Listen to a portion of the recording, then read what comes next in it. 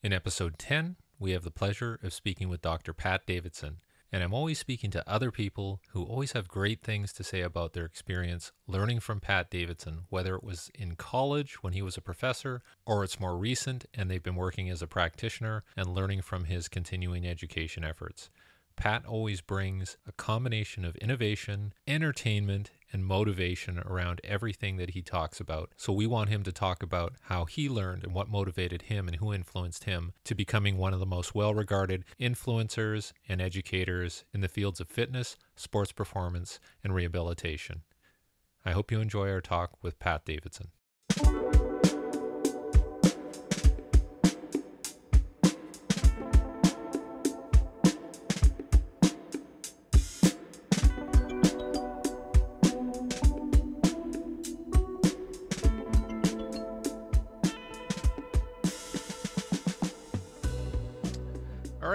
Mr. Pat Davidson, or should I say Dr. Pat Davidson. I'm uh, glad to have you on. I had a speaker last week, uh, Michelle Boland, talked a lot about you and your influence on her. And so I thought it would just be perfect to talk to you today about maybe what your influences were and what got you started as an educator um, in the field mm-hmm. of strength and conditioning, physio- exercise physiology, um, rehab, all of that stuff. And then how things have progressed for you, say in the last five years, and more importantly, the last year, and how you're looking at education and and and influencing people about their, you know, what they study, uh, how they study, but also what they're going to do with their careers because it's i think a lot mm-hmm. of people have that on their mind right now. It's like okay well what's this going to look like? How am i going to move forward? Do i want to be a strength coach? Do i want to be a physical therapist? Do i want to be a fitness trainer uh, or do I want to be all three uh, plus an educator? So I really wanted to get your opinion on this. I know you're you're I, kind of see you as a, a, a, leader who's kind of done a lot of different things and can provide different perspectives. Um, and then you got your own special little twist to it as well. So maybe we maybe we can start from the beginning and sort of when you sort of got into okay, uh, I like this field. Uh, maybe I want to make some waves in this field, and how am I going to do that? Mm, yeah, I think that's a great place to start. And you know, number one, I just want to say that it was really uh, it was very cool to see the clip of your interview with Michelle from from last week. And you know, I'm very proud of her. I think she's just done an amazing job with her career. And you know, I, I remember her from when she was doing her master's degree at Springfield, and she was a very very diligent, hard worker then. And you know, it's it's just amazing to see when people are consistent and they continue to just year after year after year study and really um, practice their craft and get better, how far they can go. And I think she's a great example of that. As someone that truly loves this and, and is a lifer and will continue to learn and, and surround herself with really great people and practice this stuff in her own coaching in her own training. And and it's like just a certainty that she's going to have a really fulfilling career and be a really excellent professional for for the remainder of her career. Um, and and we just need a lot more michelle bolands out there in general. And um, and to hear that i was a really strong influence on her is is, is a great feeling quite honestly. And you know, knowing that I've had an impact on people educationally is one of the best feelings I've ever had in my life. Um, and it's very fulfilling for me as opposed to other things. You know what I mean? Like, like money is, is great, but it's, it's very unsatisfying in comparison to knowing that you've really impacted someone and, and helped shape their career and the way that they've put their life together and to see them having success is is so much more rewarding than you know having enough money to go on vacation or buy a car or something like that. Um, so i'm really grateful that i've been able to go in the career path that i have even though it's like if someone if someone were to like try to follow my path i don't even know how i would how i would begin to explain it to them. And i think in large part because I, I, was a kid that grew up with a lot of, of uh, of early problems in my life. And that that really kind of like I went into sports as an escape. And you know, for me, it, it was like my home life didn't make much sense. It was it was difficult. Um, you know, I, I had a lot of defiant and obstinate behaviors and characteristics that I was bringing to the table. But sports, when you're on the field, it's it's very cut and dry and either I can dominate or the other person can dominate, and it seems very fair. It doesn't matter if you are rich or privileged or you know good looking or ugly or whatever. Out here, it's just you know either either you strike me out or I hit a home run or I put you on your ass or you do it to me or you, you dunk on somebody. It's it's like a great equalizer in a lot of ways.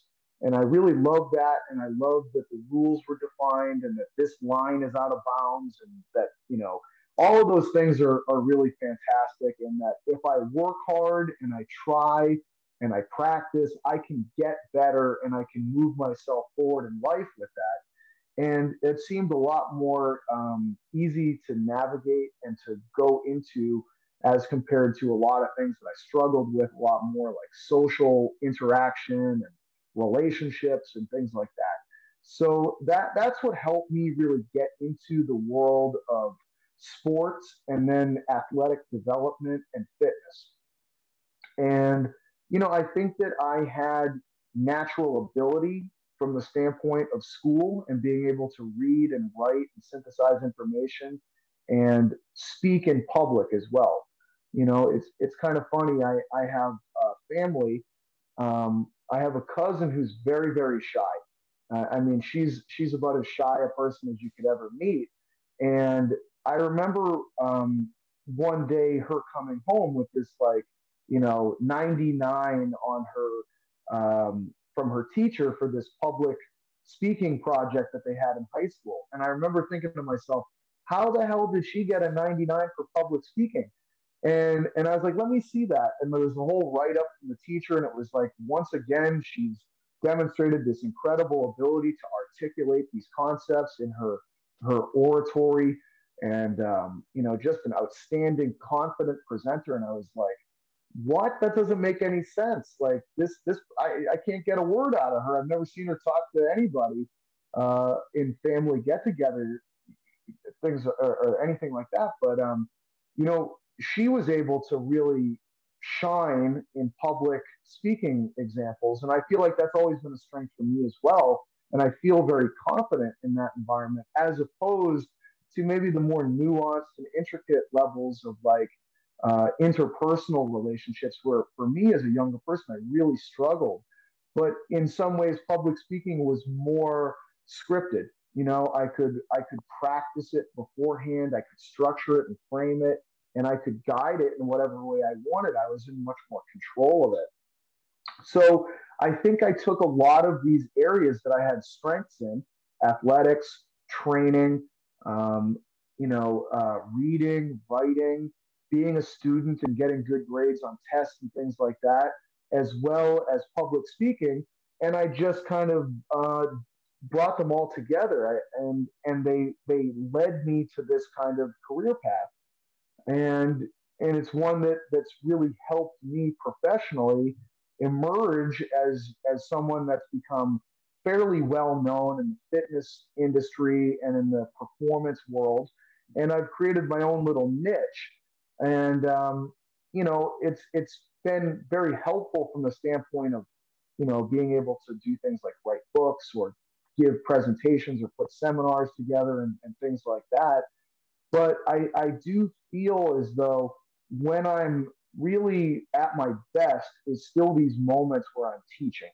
And that may be in one-on-one experiences or it could be in a classroom or it could be you know in, in any environment like that um, and and not only like it, it's it's been something that that yes financially it's worked out well for me better than i i could have imagined you know? I, I make a lot more money now than i did working as a professor at, at a higher ed institution. Um, but i think about the satisfaction i had of teaching classes and teaching semesters and watching the coursework unfold for students if I had them for multiple classes or, or across like, you know, the fall semester, the spring semester, uh, two years in a row, watching them take that information in. And, and of course, for me, I, I, I also had a number of students that, that I trained as athletes too and did the program design for. And so they could literally witness the way in which I was using this information that I was teaching them in the classroom in the designs of programs that I was creating for them. And they could see I was living it too with my own training and competing in strongman and that sort of a thing. Uh, so it, it was much more than just like showing up for class, listening to the guy read the PowerPoint stuff. It was like, wow, this guy, this is like his life. Like this guy's not just like regurgitating information. This is like, you know, th- this is this guy like telling me everything that makes him tick practically that he's, you know, taken in, understands, and and is is using to really power his own life as well as as trying to to give me this information that can be really valuable. And and I really felt like I was able to connect with people and, and see them get excited and I fed off of that to a great degree. Seeing seeing college students uh, go on their internships and go to really awesome places, and then come back and be really excited and be like, "Hey, you know, we were doing this cool thing down there. I can't wait to tell you about it." And I was like, "Yeah, tell me about it. I want to know. Like, I I can't wait to hear about whatever you know training tactics they're using at Florida State or you know at Eric Cressey's place or at IFAST or you know UCLA or wherever it was that all these kids were going, and you know it was it was really kind of like this at least you know Springfield College. It felt like this great churning stew of like knowledge that was kind of bubbling over where I wanted to get back from them and give to them and and and really have this collective force of moving forward. Um, so you know, it's it's always hard to give these kinds of like origin stories or things like that. But you know, I think that kind of gets a big part of the point across in terms of you know my own kind of uh, moving into education and, and what it means to me and and that I truly do hope that I get to participate in education going forward and and to just finish by saying that when I educate and I put myself out there oftentimes I see where my own deficiencies are and that I like to continue to learn so that I can fill those things in. And I love learning in many ways just as much as I love educating, um, particularly from people that I, I think are, are truly masters at their craft.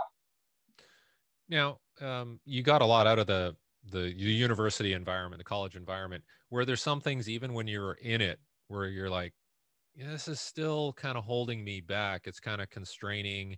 Uh, there, I'd love to do more. Uh, there's other areas I'd like to explore with the students and and really get more interactive. Like, did you find that that was something that was kind of uh, and and it maybe it wasn't the best fit, maybe at that time, but you know, speak to me a bit about that. How was it?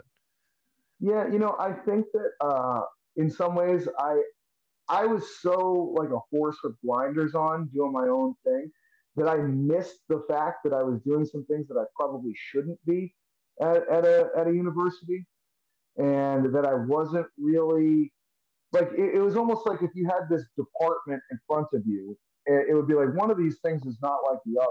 And it would be very clear it would be me compared to the other faculty members in the same department.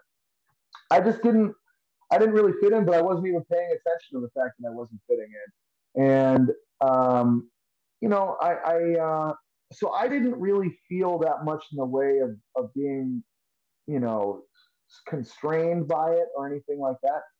But I, I also, uh, at least at Springfield College, I can say that um, I was not really participating in a lot of the things that I needed to from the standpoint of like, uh, you know, committees, like, you know, full participation on faculty committees, department committees, all these. I, I just wasn't even doing that part of the job. Um, you weren't doing know, the politics. So you don't. You weren't handling I, the politics. I was not handling that at all. I just was like oblivious to it, and so I, you know, I was I was really I was so focused on on putting my coursework together to the best degree that I possibly could, and you know, I I, I was coaching and competing at the time in strongman. You know, like that team uh, was a big part of my existence. Of you know, we we had I, I, we were in the 30s for, for number of participants in in this. You know, we called it iron sports. We had primarily strongman competitors, but we also had power lifters and Olympic lifters and bodybuilders and CrossFitters. And um, you know, we we trained in the weight room at like we had the worst time spot. It was like I think like Monday and Friday at like 7:30 p.m. or something like that. Um, so I would be at the school all day you know, I would be in my office, um, you know, just working on whatever, it, like like breaking down. Like, you know, I had this hard drive full of you know information from every coach imaginable, going through videos of of, uh, of you know whether it be you know sprinting or lectures or lifting technique or you know, change of direction. I mean, it was just like I had time to kill. You know what I mean? It was it was like, well, I finished teaching classes at two o'clock in the afternoon, and I'm gonna be here until the team practices at seven thirty. So I'll probably, you know, I'll have lunch, but then I'm just gonna be like on my computer studying this stuff for the next five hours, and I'd be doing that, you know, five times a week. So I was just like consuming information at a, at a very uh, high level at that point, and then training and and I was writing programs and doing all this kind of stuff. Certainly grading papers, and I was on uh, student masters, uh, you know, theses and doctoral dissertations and stuff like that. So reading a lot of those kinds of papers and going through that kind of stuff, grading my own stuff for classwork things. But um, I, I didn't have that much in the way of distractions, which I kind of liked. You know, it was Western Massachusetts. not a lot going on there. Uh, it was kind of like I'd teach this information. I'd be learning more information from the standpoint of, of reading and studying and then training and uh, kind of a Groundhog Day version of that for months at a time. Um, and I, I, really enjoyed that kind of existence. I wasn't well known at that at that point in time. Um, I wasn't building a career based on a public persona. Uh, and I, I kind of liked it better in some ways. You know, I really did. It was like I got my team. I'm competing in this sport. I teach my classes. Um, you know, I learn this information. I consume it, and and and it was it was very simple and very satisfying. Um, it didn't last because again, I, I really um, you know, it was it was also like I, I was a bit of an asshole too. You know what I mean? I just I, I didn't fit in with that department. I didn't try to fit in with that department. I didn't even see what I was doing that was kind of a problem in terms of like, uh, you know, being a faculty member from the perception of other faculty members. And I, I just landed myself out of that gig. And, um, you know, I'm okay with life where it is and all that sort of stuff. But I, I, there's a part of me that wishes that I could have just done my whole career there and spent it, you know, in in a quiet kind of a place, just developing these coaches behind the scenes. And you know, it's taken me out of that role and into a completely different role of having a much more public persona and living in New York City and getting exposed to, you know, just a, a whole different world in in the current life that I have. Um, but it's um it's been it's been really cool from the standpoint of uh, of just learning more about other people, learning more about myself, kind of uh, seeing that the the extent to which life can be funny and and odd and uh, and and it's been it's been really beneficial in a lot of in a lot of ways I would never have imagined. Yeah, I, I honestly can't. Uh, I mean, I think about your your style and, and the way you're uh, providing information. And I, I, I don't know if I could see you still in that university environment. It just doesn't seem like a good fit, at least from my perspective. And I, mm-hmm. I just see how much reach you have now where, you know, I understand you would have a quiet place to, to selectively work with uh, some students, but now, you know, you can reach a whole bunch of people and they could still be in university and still benefit from your stuff so what are some of the things that kind of you've taken from that university experience and said okay uh, i got this freedom now. Um, i can still be based uh, in science but now i can i can take it to this new level and i can try some things. What are what are some of the things that that you think that you've taken from that university experience and expanded upon? Yeah, you know, it's it's interesting. Like I, I think that I got a, a very good empirical foundation as a student at Springfield College. Um, you know, uh, Vince Paolone, who who ran the PhD program that I was in, he was a, a hard nosed dude that runs a really tight ship, and and was very good about getting us to learn how to be very thorough with uh, with research and um, kind of you know the, the the everyone that was involved with with my education and the PhD process there, I think they did a very good job of of preparing me to understand the empirical process and peer reviewed literature and different levels of evidence and how to be a very selective consumer of information and how to have a mind that is able to differentiate uh, and and to see bias and to read the complete picture and to make an argument and to do all the things that are really valuable um, as a as a high level thinker. I think that they did a very good job of, of preparing me for that. And working as a faculty member at two different institutions, I worked with other faculty members that were really brilliant. I worked with a guy at Brooklyn College named Chris Dunbar, who is, um, you know, he he's a really accomplished researcher in electrophysiology, um, in, cardiac electrophysiology. Um, and and I mean that man has a mind that is is is like a steel trap. You know, nothing gets through that he doesn't catch. It's like an incredible filter. Um, and but it's funny, like working at Brooklyn College and then coming back to Springfield College you see plenty of faculty members that are clearly like uh, not well trained and really don't have very scientific minds at all. They're kind of like lazy and lackadaisical and don't particularly screen information well and don't see their own biases. And, um, you know, there's a tremendous amount of time it takes to uh, have your mind mature uh, with the empirical process and to catch your own limitations on that front. And mine certainly wasn't there finishing a PhD program. Uh, it certainly wasn't there after uh, a few years of, of teaching and as a professor and, and doing a few uh, peer-reviewed papers and things of that nature. Even even after that, like you know, it, it took time.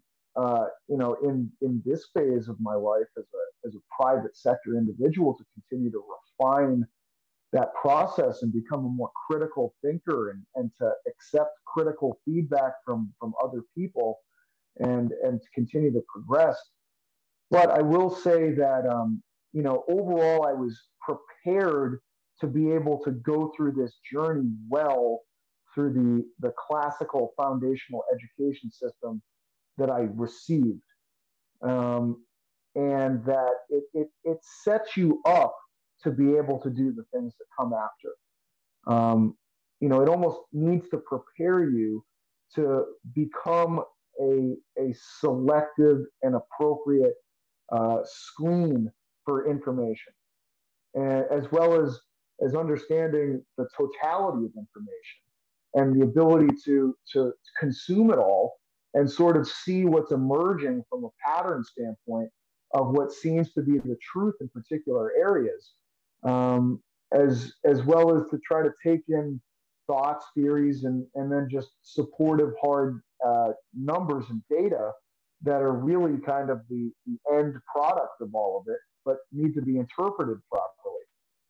You know, uh, you know, I, I, I'm not. It's funny because sometimes you can begin to answer these kinds of of topics and you forget what the original question was, and and that's you know, I know that you were you were you were kind of talking about um, the the freedom of not being in in in a collegiate environment and um, and, and but at the same time, how you know being kind of an evidence-based thinker is is important and all that sort of stuff.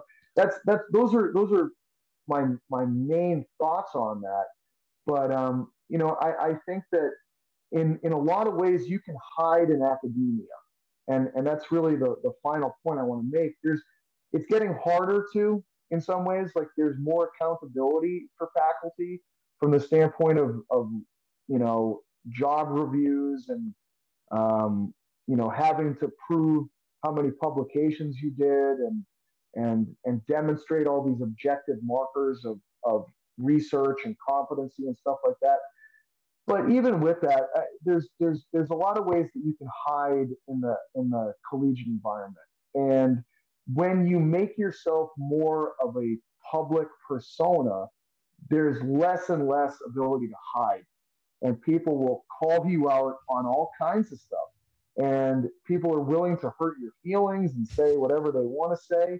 And sometimes they're right. Sometimes it's completely baseless and meaningless.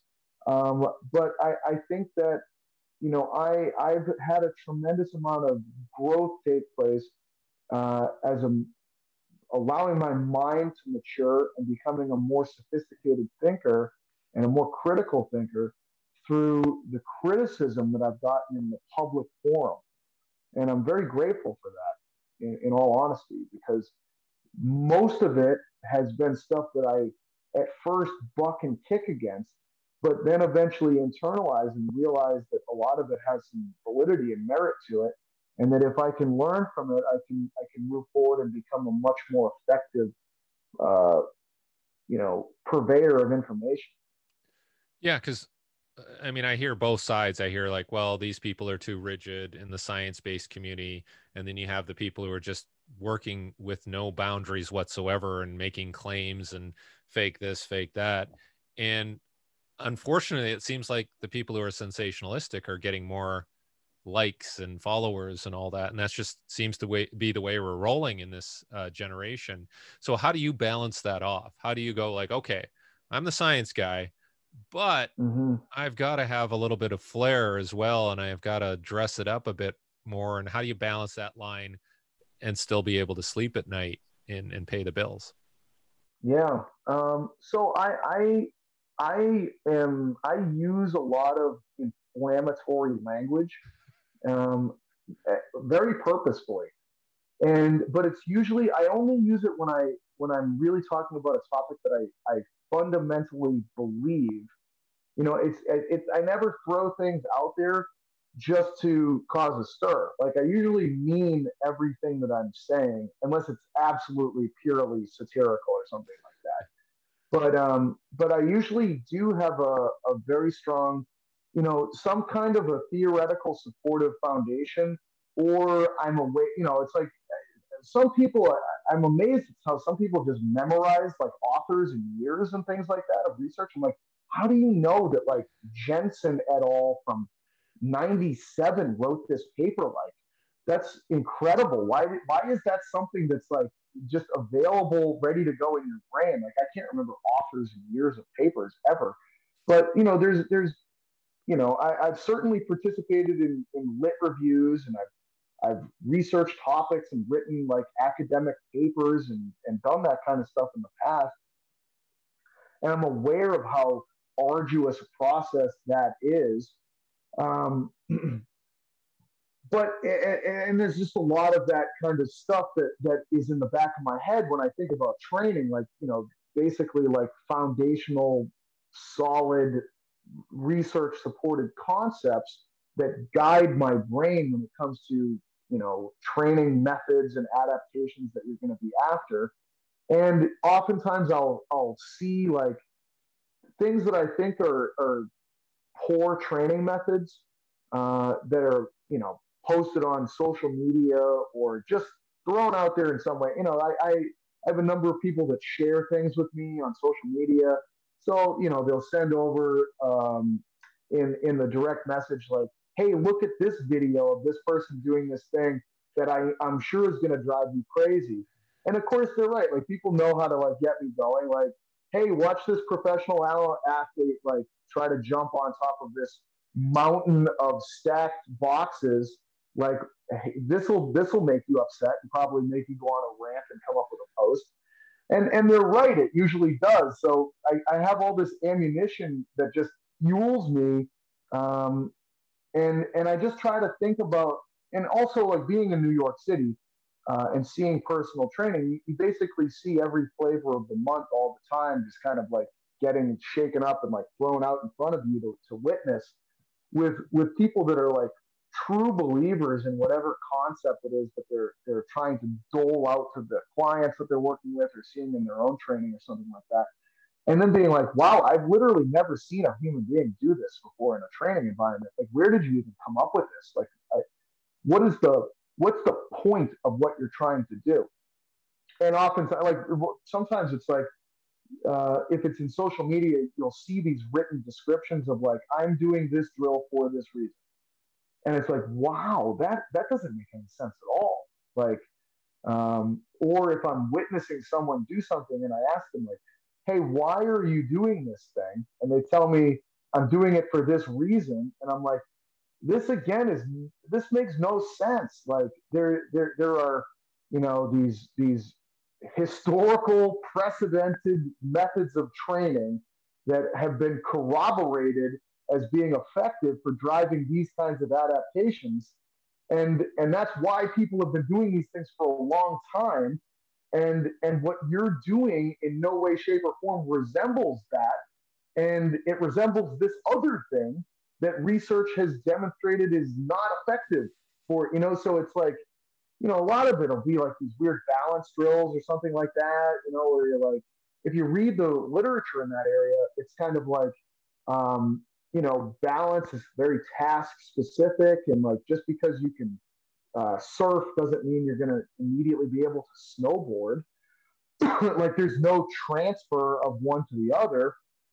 Uh, yes, someone that's good at snowboarding, if they learn how to um, surf, is probably also going to be good at surfing. They probably have, excuse me, uh, anthropometric characteristics that are great for those kinds of activities. And apologize. It's the uh, it's the COVID. That's a terrible joke. The COVID cigarette. Yeah. but um, hopefully this goes away soon. I've been doing a lot of talking today, so I feel like that can happen. I don't have any water with me either. But um, it's kind of like you you know you'll see that as a for instance and it's like i don't think that you building this kind of like you know mousetrap looking operation around a gym with like bosu balls here and wobble discs over here and you're jumping from this one to that one. I don't know if this is actually leading you towards the desired adaptations to be a better safety in the nfl it seems really counterproductive in terms of use of time. I could see a high risk of injury being present with these things. So, not only is it something that's not going to be beneficial, but it could simultaneously be very detrimental. And yes, I get it. You're 24 years old and your trainer is 27 years old, and you both think that you're bulletproof. But I got news for you, man. People have slipped and fallen and done things like broken wrists before, and then been out for several months, and then become deconditioned. And then when they come back, they pull hamstrings or Achilles go or something else that's like, you know, uh, and and then like, hey, you were just another flash in the pan whose career ended way too soon, and you won't even see the chain of events that led you towards this like terrible end thing that took place. Um, so, you know, there's just a lot of that stuff out there. And, you know, it's kind of like, it's unfortunate because there's good information that exists and there's great coaches that are available. And oftentimes, no, they don't get as many likes and shares on social media so their their information becomes less wet, less spread as compared to the person that's doing really bizarre things on you know really bizarre surfaces that you know it's it's and it's just so it's so it's it's just so frequent. It's like god like is no one else seeing this and aware that this is tragic stuff that's happening? Like i'm not going to keep my mouth shut. Like this is awful. And these are multi multi million dollar assets that are just being like treated like they're they're two cent Tonka toys. Like uh, somebody needs to to kind of step up and and shine the spotlight on this and say that this is egregious.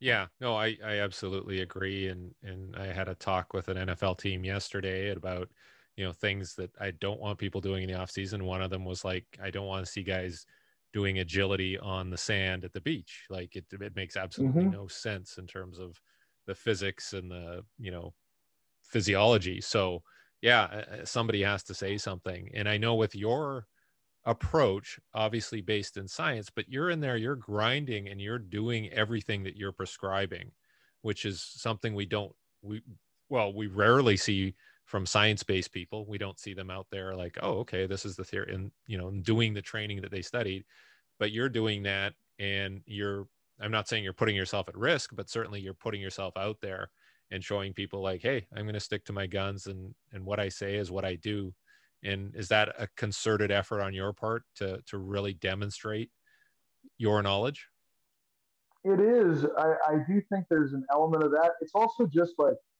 I don't even know what the hell else I would do in some ways. Like I've always trained. Um, I love it. And, and I don't think I ever won't train. It's like I'll probably be preparing for the NFL combine when I'm 75 years old. Like, cause it's just, it's just kind of how I've always lived. And, um, and it, it, it, it gives, it gives me a feeling of, of direction in my life. And, um, so it, there's, there is that. And it, it also I, I feel like um, like you can get lost like you can you can kind of get introduced to new exotic methods of training and you you might go somewhere where where the presenter is so charismatic that they convince you like oh my god this is the golden goose egg and and i think you got to really try this stuff and and and witness it and measure stuff and see what's happening and then you can be like well yeah my my uh, you know my my hips feel great, but I got weaker and slower simultaneously. That is also not good. Like uh, you know, clearly I still need to do some some fast running and some strength training if I care about those variables, which are important variables for, for athletic populations. So, you know, I, I, I think like, you know, that's that's just really to me like I don't know how you would know something as a coach and someone trying to to get information across to people uh, unless you're really invested in it, like with skin in the game. Um, you know, I think about some of the the, the more historical uh, sports science figures, like even A.V. Hill. You know, from the stories I heard about him, when he was figuring out the concepts related to direct measurement of VO2 from gas collection, and how you would know that it's a VO2 max test.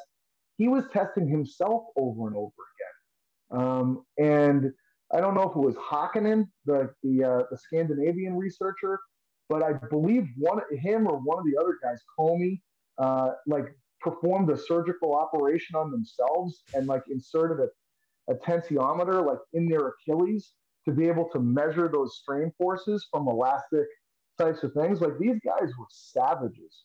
Um, and, and like AV Hill, to understand the difference between uh, a VO2 peak and a VO2 max test, that's a crazy thing to actually figure out.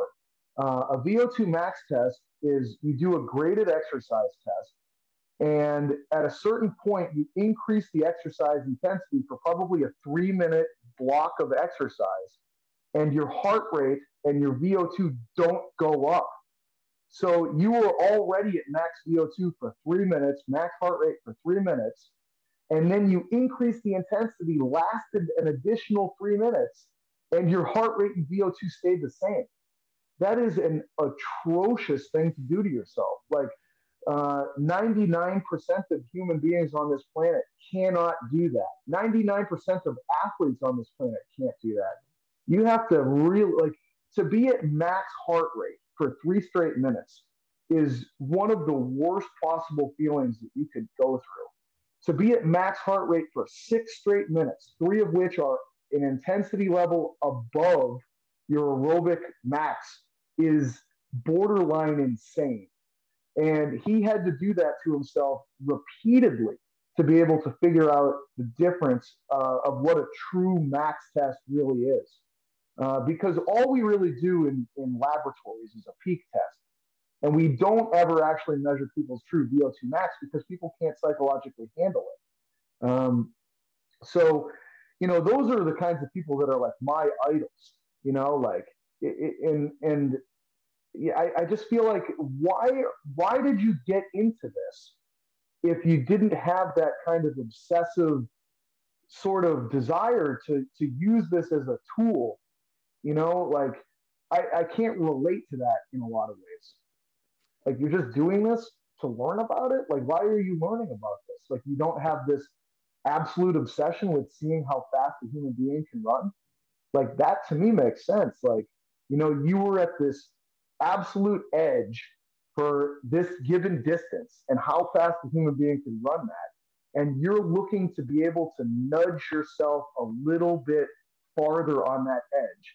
And to do that, you need to consume every bit of information from the smartest, most sophisticated sources you can, because maybe it makes like a 0.1% difference, which is an enormous difference at that level. Yeah, and that's that's what I enjoy about the stuff that you're putting out there is that you are doing that. You are putting yourself out there and and testing yourself and we all get to see you suffer, which is pretty awesome too. so now moving forward, let's assume you know, we all get vaccinated, things are looking better. What are some projects that you're going to focus on, say, in the next six months to a year here? Uh, do you see yourself doing some different stuff? Yeah, um, you know, it's I have uh, this whole rethinking the big patterns world of stuff where um, you know I I I've created this online platform. It just needs to be like literally like I don't know a button press to get it live or something along those lines but I, I'm I'm going to have it as a certification model where people will have to go online and watch introductory lectures and then take a, a, quiz on it and pass that quiz. And once they do that, they'll be able to go to in person seminars. And there'll be three different divisions of seminars that people will have to attend. And once they've done those, then they can go back online and take this big final exam that will be based on uh, the seminar information and also the, the whole book itself. Uh, because I, I, want this, I, I, really, I think that I did a pretty good job with the book and and really consolidating a lot of quality training information as well as a as a model that really ties it all together. I, I, I um, you know and and to i think that if people are versed in the whole thing and they and i've tested it uh, in some reasonable way to say like hey this person they knows what they know what they're doing from the standpoint of the way that the model works and how to coach exercises according to you know the way i put it together i feel pretty pretty confident in giving this person a stamp of approval. And i think that you know if you're looking to hire a qualified coach that knows what they're doing in terms of working with athletes and general population, I, I think that this is a really good certification to be able to put next to your name and say, yeah, like, you know what, this person managed to go through this whole thing. Like, this is a high level coach. Um, that's my big, big thing. And, and I really am looking forward to the in person stuff after COVID.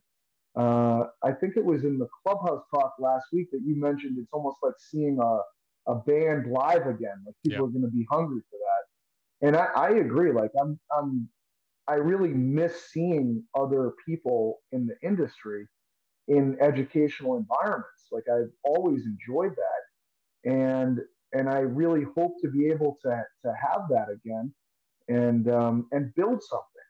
You know, I, I've seen a lot of different certification systems exist and I've I've just never felt like any of them have either been thorough enough or they're they're too niche or something. You know, it's kind of like I, I, wanted this to be a very very much a totality based approach. Like this person can understand big picture theory, but they can also coach a damn squat, you know, and they know how to get someone to do an A run properly, and they know how to get someone to throw a med ball properly.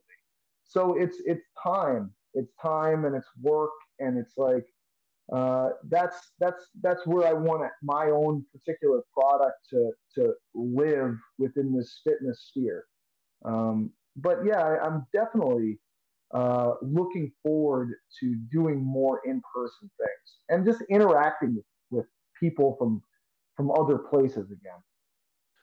Yeah, um, you know, I, I I think you're right. I think uh, it's nice to have that virtual stuff available to people, but really, uh, you know, if they have a chance to see you in person, I would highly recommend that too. Right? You know, it's it's nice to have that as supporting elements, but but being live at a a Pat Davidson uh, touring event is is an ex- experience in itself. So, are you still pretty much funneling people through your Instagram account to get to your your resources? Yeah, that's that's the the everything that I've got is is through the bio link in Instagram right now, um, and it's like I, I'm going to have to actually. I'm glad I do these things because it reminds me, like, oh yeah, I really have to get this online thing like going again. Yeah. I've been kind of delaying it because I, I, really a big part of it is really doing the in-person seminars. Yep. Um, but and it's like I don't even know when the hell are we ever going to do this again. But uh, you know, there's there's really no reason to, to not get things started and to create that impetus and have some momentum take place to get the ball rolling. Um, but I th- that's the big thing that that I'm going to be uh, working on and trying to offer from an educational standpoint going forward. Yeah, I'm, I'm looking forward to seeing you. Hopefully, maybe fall 2021. I don't know. I, I want to be able to fly out to New York and hang out with you and, and maybe combine some stuff together and, and do some in-person stuff. So we'll we'll be looking forward to that. But I just want to thank you again. Uh, big fan of yours and uh, always pushing people to your content because I think it's valuable because you bring that science-based approach with that passion, and I think that's that's really important. Well, it's a very mutual kind of a, of a situation here because I've I've really uh, taken a tremendous amount of learning away from every experience I've had with you. Uh, you know, you are truly one of the, the great coaches that has ever been in this industry. And I, I really do admire the way that you carry yourself, conduct yourself, and, uh, and just overall your, your, the totality of your career and what you've, you've been for the people that have learned from you, which is really inspirational as well as, as a valuable educational source. Well, yeah, likewise, right back at you. You're right; it is mutual. So, um, yeah, uh, whenever people get a chance, check out Pat Davidson Instagram in person, and uh, you won't be disappointed. So, thank you very much for doing this, Pat. Thank you, Derek. I'll, and I'll talk to you pretty soon. Yeah, likewise. Take care.